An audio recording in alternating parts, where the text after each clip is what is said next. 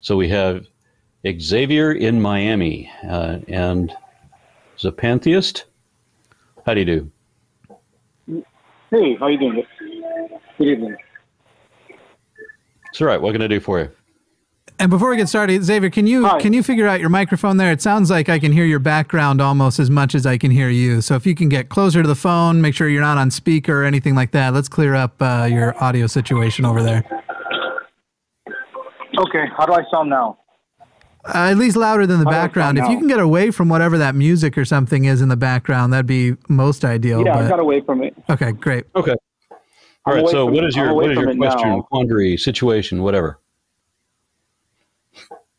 All right, so it says uh, religious people report greater sexual satisfaction. Um, so, according to a, considering the results of a study published in the Journal of Sex Research,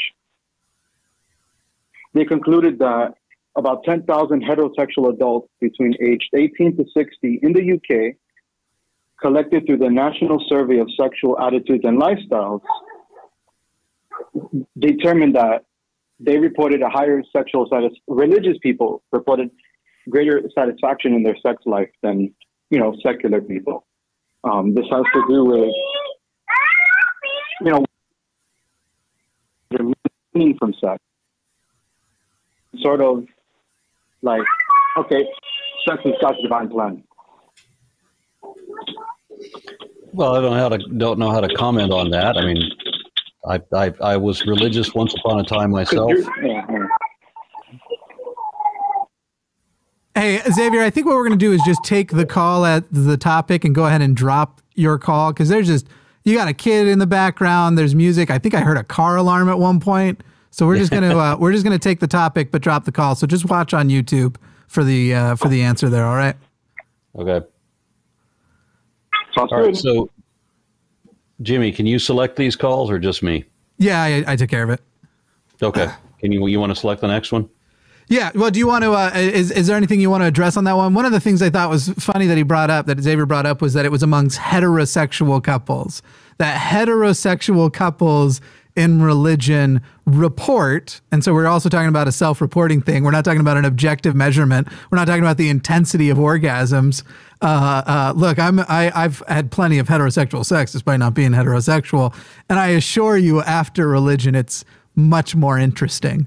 Uh, however, I, I, I do think it's funny that there's that big lost topic of amongst heterosexuals, when you ask a couple if their sex is better than the heathens, they're sure it is. I don't know. It's not that interesting to me.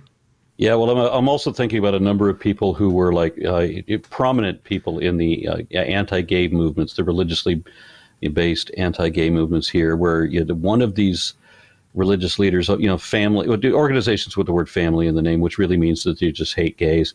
And the leaders of one of these groups was caught having sex with a man in his van out front of the church. So that was Yeah. discreet. Yeah, yeah. And, and, and another one, uh, probably the more famous example, was the, just the leader of some you know a- anti-gay church who was caught going into a hotel room with a rent-a-boy, someone he hired to carry his bags and give him massages, and that Brazilian rent-a-boy's advertising. Uh, his qualifications, his list of qualifications started with that he had an eight-inch cut, uncut penis.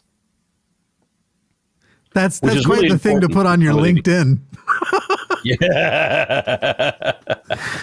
And then, of course, there was Ted Haggard, the most famous example, who was talking about the very thing that this caller was talking about. You know how they have they had better sex than anybody else, and it, you know the people of his congregation had better sex than anybody else. And he says this with a huge sickly smile.